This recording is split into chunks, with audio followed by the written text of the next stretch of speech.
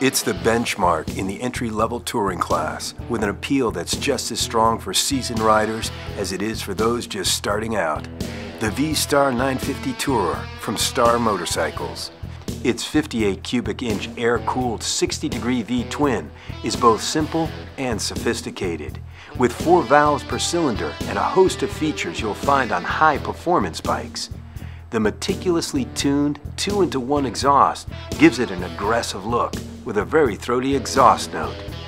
The exceptional chassis design creates a light feeling that you can't miss and great front-rear weight distribution, plus a large 18-inch front wheel for great cornering and confident cruising.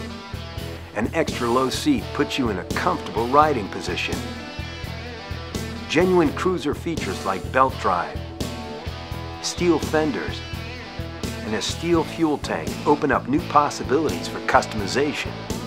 And you can add on any number of high quality, perfect fitting Star custom accessories to express yourself even more. But it's the V-Star 950 Tourer's quick release windshield, along with quick release backrest, both of which can be removed without tools in seconds, that enable it to become a street cruiser or a touring bike. Now add in leather-wrapped hard side bags and an estimated 47 miles per gallon with a generous 4.5 gallon tank, and there's no telling how far you'll go. Whether you're on a curvy stretch of back road or cruising down the boulevard, the V-Star 950 Tourer truly is a class leader.